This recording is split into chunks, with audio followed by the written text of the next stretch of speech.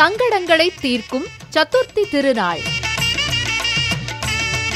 வினைகளை வேறறுக்கும் விக்ன விநாயகர் தரிசனம். நெய்வேலி நகரம் அருள்மிகு காவடி செல்வ விநாயகர் ஆலய தரிசனம்.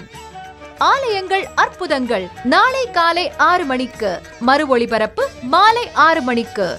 நமது புதியுகத்தில்.